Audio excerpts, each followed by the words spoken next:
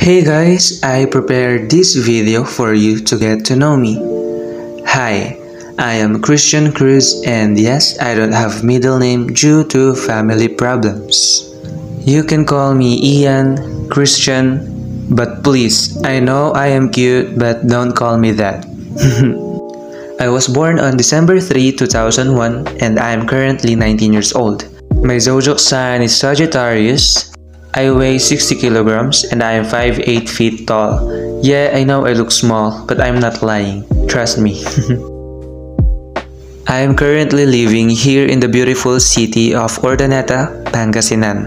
I am also an artist and way back 2019, me and my artworks was featured in AHA by Drew Arellano. These two are my favorite artworks so far. I love playing mobile games. In fact, I used to play Mobile Legends, Clash of Clans, PUBG Mobile whenever I have free time. I aspire to be rich and successful so that I can spoil myself and my family. My ultimate academic goal is to get that PhD after my name.